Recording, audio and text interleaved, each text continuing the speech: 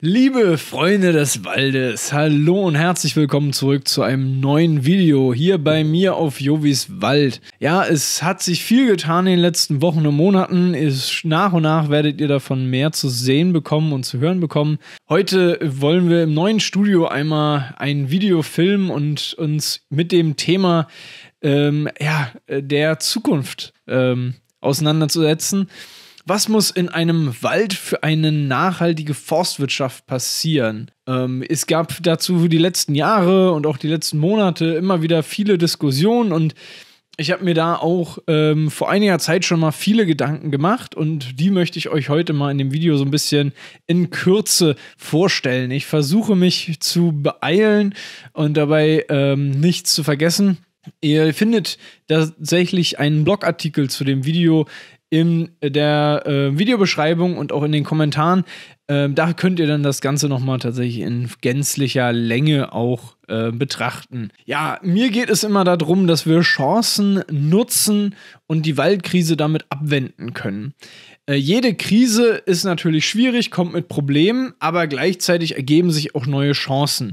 Und um diese Chancen geht es mir eigentlich, dass wir jetzt die Schwierigkeiten nutzen, die wir gerade haben um eben aufzuräumen, um eben auch einen Neustart oder eine Verbesserung der Dinge herbeizuführen. Und so möchte ich euch heute einmal meinen Wilhelm Pfeil-Plan, die zehn Punkte für einen äh, besseren Wald von morgen eben vorstellen. Warum heißt das Ganze Wilhelm Pfeil-Plan? Ja, ähm, mir geht es ja immer so ein bisschen um die Arbeitspferde, um Bodenschutz, mir geht es um den, ja, äh, den Waldschutz und die nachhaltige Nutzung und die nachhaltige Idee der Waldnutzung eben auch.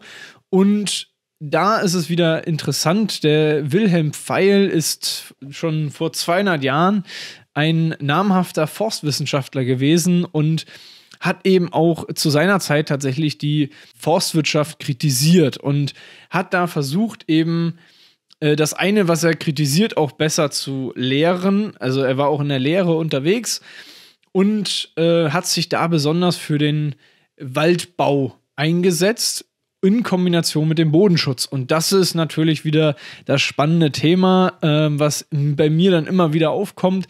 Waldbau äh, geht mit Bodenschutz. Und äh, ja, das ist so ein bisschen die Inspiration und der Namensgeber für meine äh, zehn Punkte. Und ich steige gleich mal ein mit euch. Der erste Punkt ist tatsächlich der Waldumbau an sich. Es ist ein viel diskutiertes Thema, es gibt viele Meinungen und Ansichten dazu. Oft wird dabei über die potenziell natürliche Vegetation gesprochen, kurz PNV. Ähm, darüber hinaus wird viel über die Baumartenwahl diskutiert. Und da äh, wer meinen Kanal schon länger kennt, äh, setze ich mich tatsächlich für eine kreative Baumartenwahl ein, die sich nicht auf die vergangenen Standörtlichkeiten beschränkt, ähm, die auf vergangene Baumarten zurückblickt, sondern auf das, was uns der Boden aktuell heute sagt, mit in Kombination mit der Erwartung vom, vom, vom Klima, von der Klimaveränderung. Da müssen wir hinkommen zu Ge Mischwäldern, die eben klimaresilient sind. Ähm, das bedeutet, sie werden auch den Klimawandel überstehen. So ist die Hoffnung und so ist die Absicht. Ja, das ist so der, der erste spannende Punkt. Als zweites geht es mir darum, dass eben auch diese neuen Bestände, die wir anlegen im Waldumbau, dann auch pflegen. Und das ist was, was ich immer wieder sehe, dass wir unsere Waldbestände oft vernachlässigen, was die Pflege angeht. Denn ähm, ja, jede Baumart braucht unterschiedliche Voraussetzungen und unterschiedliche Pflege. Wenn wir jetzt eine Lichtbaumart haben, wie die, Lich, äh, die Lerche oder die Eiche, dann braucht die viel Licht im jungen Stadium. Das bedeutet, wir müssen da auch sehen, dass die Birke, die Kiefer und andere Baumarten, die sehr wuchsstark sind äh, als Pionierbaumart, eben nicht unsere Eichen und Lärchen verdrängen über Zeit, sondern dass wir da eben managen, dass wir eben die Pflege machen und so tatsächlich auch einen Mischwald herbeiführen. Und das ist kein passives Abwarten, sondern das ist bei, besonders bei der Pflege, besonders bei jungen, ähm, Jungbeständen, besonders bei neu angelegten Beständen eben wichtig, dass wir die Pflege schaffen für eine gesunde Forstwirtschaft. Ja. Punkt 3. Weg vom Maschinenwald. Äh, das ist natürlich jetzt ein scharfer Kampfbegriff. Ich finde es immer wieder ähm, wichtig, tatsächlich auch zu betonen, dass ich jetzt nicht glaube, dass wir komplett die Maschinen im Wald verzichten können und verzichten werden. Wichtiger ist es allerdings, dass wir verstehen, dass der Wald an erster Priorität steht und das, wie wir den Wald bewirtschaften, sollte an zweiter Priorität stehen. Das bedeutet, wir müssen nicht unsere Wälder hin zur Bewirtschaftung orientieren, sondern wir müssen unsere Wirtschaftung den Wäldern vor Ort anpassen. Und wir müssen dabei eben darauf achten, welche Möglichkeiten wir nutzen äh, können und zu nutzen haben. Und da gibt es eben auch wieder so interessant, deswegen Wilhelm Feil ist da so ein bisschen Namensgeber und Inspirier äh, Inspiration für diese zehn Punkte auch mitunter, weil tatsächlich ähm, er sich auch dafür eingesetzt hat, dass wir von dem arbeiten, wo wir eben den, im, was wir im Boden haben, also von der Standörtlichkeit herkommen. Da gibt es auch weitere ähm, Forstwissenschaftler, die da sehr, sehr stark sich für die Standörtlichkeit eingesetzt haben. Aber diese Standörtlichkeit haben wir heutzutage etwas vergessen in der Waldbewirtschaftung. Im Waldbau ist das die Tagesordnung und das Thema schlechthin. Und da, ähm, wie wir dann tatsächlich an das Holz kommen, wie wir die Waldarbeitslehre umsetzen, da sind wir auf einmal sehr schmal geworden und die Wälder müssen sich doch bitte aber der, Waldwirt, der Waldarbeit unterstellen. Also diese Idee ähm, kann ich nicht nachvollziehen. Die Wälder müssen weiterhin und müssen erst recht jetzt hin ähm, sich als erste Priorität ergeben und dann müssen wir die Walderschließung und die Waldarbeit, wie wir die Dinge dann klären, müssen wir dem Ganzen dann unterordnen. Vierter Punkt ähm, ist tatsächlich für mich wieder äh, der Anfangspunkt. Wir müssen Bodenschutz machen und wir müssen da aktiv werden und wir müssen auch ähm, ja, uns aktiv für den Boden einsetzen. Und dann auf der einen Seite bedeutet es, die Forschung zu betreiben, es bedeutet, den Boden zu, ähm, ja, zu pflegen, auch zu gucken, na, wie können wir das Bodenleben anregen. Das ist besonders jetzt, wo wir ähm, viele Schäden im Wald beobachten, wo die Trockenheit um sich greift, müssen wir uns dafür äh, ja, stark machen, dass wir wieder mehr Wasser auch im Boden halten können. Und dafür müssen wir überdenken, wo wir Rückgegassen anlegen, wie viele Rückgegassen wir anlegen und was das eigentlich im Folgenden alles bedeutet. Und so muss tatsächlich äh, der Bodenschutz nochmal deutlich stärker auch mit Hinblick auf das Produktionsmittel Boden äh, äh, geschützt werden. Also ich will ja nicht den Boden um des Bodenwillens schützen, sondern ich will den Boden um des Waldwillens schützen. Denn wir können nur da, wo gesunde Böden sind, auch gesunde Wälder erziehen, die uns dann wiederum gesundes Holz geben, das wir am besten verarbeiten können. Nur Krummwuchs bringt uns in der Holzindustrie auch nichts. Also müssen wir sehen, dass wir starke Böden haben, um einen starken, gesunden Wald zu entwickeln. Ja, daraus anschließend, und das klingt schon immer wieder so ein bisschen mit, Punkt Nummer 5 ist die Kombination aus Waldbau und Waldarbeit. Das ist, glaube ich, tatsächlich mit eins, wenn ich jetzt so meine ganzen Themen überblicke, mit eins der Punkte, die mich ähm, ja immer, immer weiter antreiben, dass wir tatsächlich äh, deutlich ambitionierter an die Sache rangehen, den Waldbau mit der Waldarbeit zu vermengen. Historisch war es gar kein Problem. Historisch war das nämlich so, dass die, die den Wald bebaut haben, meistens auch den Wald bewirtschaftet haben. Da ähm, die Waldarbeiter meistens im eigenen Forstamt tätig waren, meistens im, im, im eigenen Forstrevier tätig waren, konnten sie so auch die, tatsächlich den Wald, die Waldentwicklung in allen Maßstäben mitbekommen.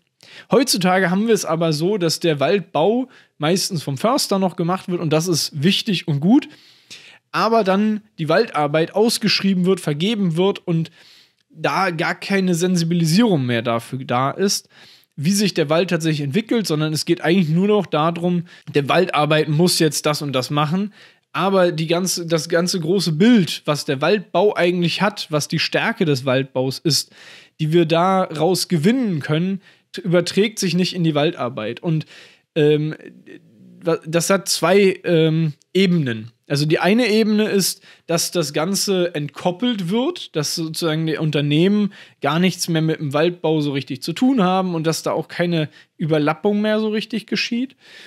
Und auf der anderen Seite ähm, ist die Waldarbeit ähm, ja sehr eindimensional geworden, welche Möglichkeiten und Methodiken wir haben, ähm, tatsächlich den Wald, Waldbau auch zu unterstützen. Und das ist, finde ich, das Faszinierende. Wir können mit der Waldarbeit vieles von der Wald, vom Waldbau tatsächlich auch beeinflussen und verbessern. Und dadurch, dass wir kreativ in der Waldarbeit werden, können wir dem Waldbau viele Dinge erleichtern.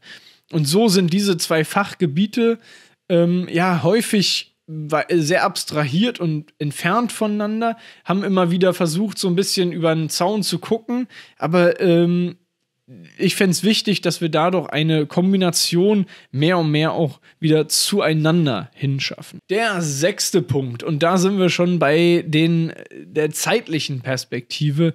Die Forstwirtschaft muss wieder langfristige Gewinnbetrachtungen einführen und darf kein Spekulationsobjekt mehr sein. Wir müssen auf der einen Seite zusehen, dass wir ähm, ja, langfristig Wälder etablieren und da sind wir in Deutschland ja schon international auf einem sehr guten Weg.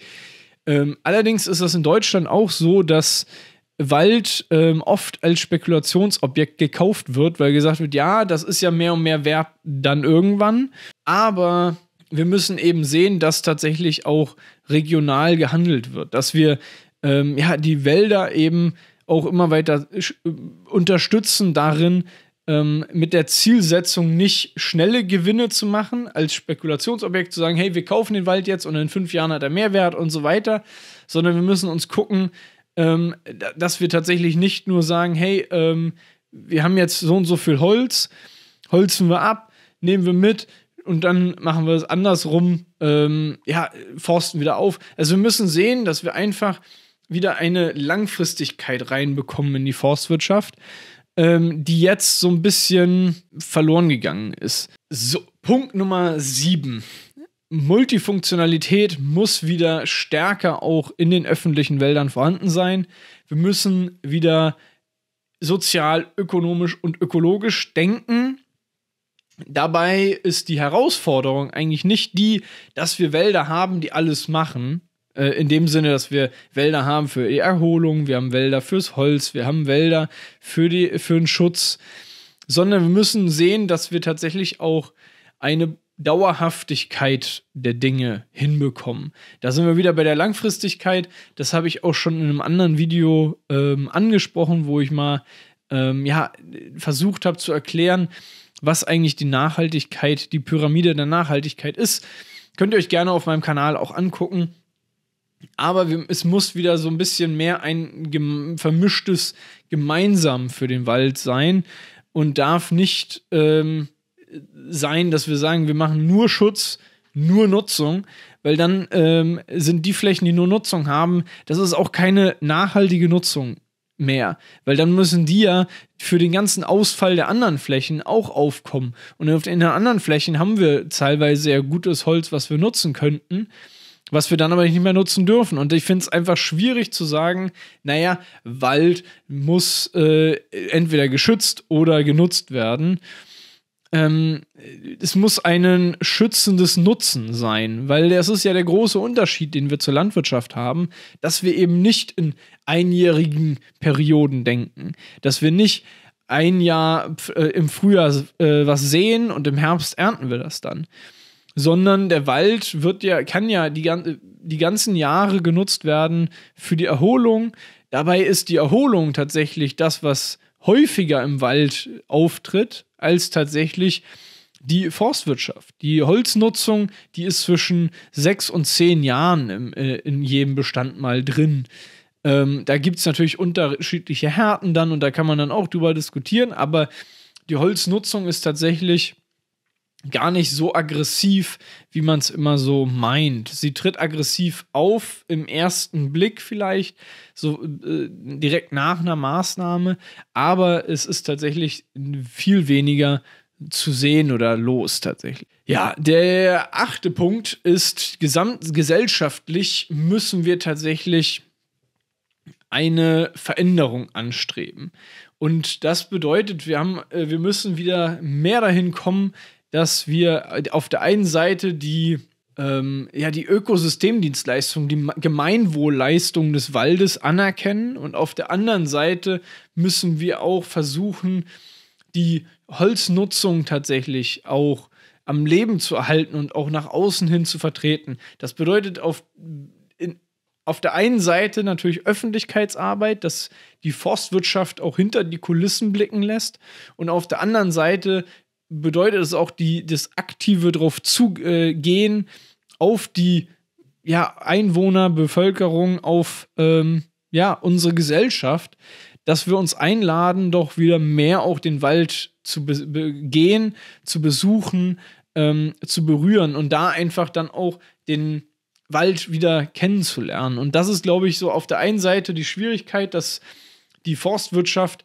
schwierig Öffentlichkeitsarbeit macht ähm, und auf der anderen Seite, dass die Verbindung zum Wald sich mehr und mehr verändert, aber auch mehr und mehr distanziert. Ähm, und das ist, glaube ich, da die Herausforderung, die ich gerne angehen möchte und dass wir tatsächlich da auch wieder aktiver mit dem Wald arbeiten. Das ist auch mit einer der Punkte, warum ich den Kanal hier gestartet habe. So, Punkt Nummer 9. Äh, so, wir müssen hin zu einer nachhaltigen Holznutzung. Das muss auf der einen Seite sein, dass wir nachweisen können, wo wir unser Holz herbekommen. Da gibt es sicher äh, über Holzzertifizierung viel zu diskutieren und viel zu berichten. Diese Holzzertifizierung muss sich aber weiterentwickeln. Sie kann nicht da stehen bleiben, nur weil es bisher so geklappt hat, muss es auch weiter so gehen, sondern da müssen kontinuierlich höhere und bessere Ansprüche gefunden werden, dass tatsächlich sich die Holznutzung auch immer weiter herausfordert und herausgefordert sieht, eben auch ähm, nach außen hin das Ganze, den Rohstoff Holz tatsächlich auch gut zu nutzen. Ähm, dann müssen wir auch uns überlegen, wie können wir das Holz tatsächlich mehr und mehr in eine Kaskadennutzung überführen, also mehrschichtig nutzen. Das sind alles interessante Herangehensweisen, die wir entwickeln müssen, um tatsächlich auch mit dem Holz besser umgehen zu können.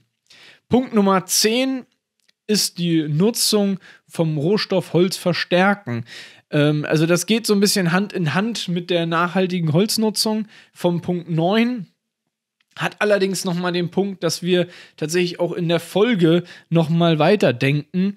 Äh, was ich eben schon angesprochen hatte mit der Kaskadennutzung, muss noch weitergehen, dass wir tatsächlich über Recycling nachdenken und wie wir das besser umsetzen können, wie wir tatsächlich auch in, in Bauobjekten Holz nachhaltig einbringen können. Da gibt es viele ähm, Möglichkeiten, da gibt es innovative ähm, Ideen und Ansätze, die jetzt tatsächlich in der Forschung und Entwicklung da vorangetrieben werden müssen. Also die nachhaltige Holznutzung, Punkt 9, ist eher ein Punkt der Holznutzung im Wald direkt.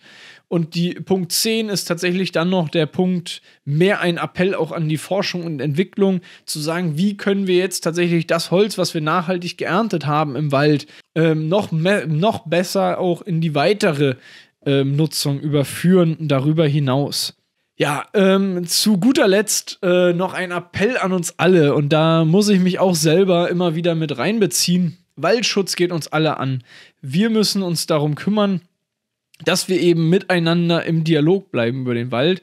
Ähm, das ist auch mehr und mehr zu einem Credo von meinem Kanal geworden. Ich möchte gemeinsam eben auf die Suche gehen nach einem nachhaltigen Wald oder gemeinsam mich für einen nachhaltigen Wald einsetzen. Gemeinsam bedeutet ebenso mit euch zu Hause, die ihr jetzt dieses Video seht, mit einer Community möchte ich das gerne angehen, weil es wichtig ist, dass wir nicht Einzelne sind, die verloren dafür einen Wald äh, uns einsetzen, sondern dass wir uns tatsächlich dafür einsetzen und zwar gemeinsam. Und das können wir gerne diskutieren es gibt sicherlich andere Ansätze, es gibt andere Ideen, wie Wald genutzt werden kann, wie Wald aussehen soll. Das ist alles spannend und ich bin da gerne im Gespräch, aber wir müssen tatsächlich auch ansetzen und es ja aussprechen. ich hoffe, euch hat das Video wieder gefallen. Es ist tatsächlich länger geworden, als ich erwartet habe. Ähm, Ja, ich bedanke mich fürs Zuschauen. Äh, wenn ihr den Kanal tatsächlich noch nicht abonniert habt, ja, lasst doch gerne ein Abo da. Ich äh, bin gespannt auf unsere zukünftigen Gespräche und freue mich aufs nächste.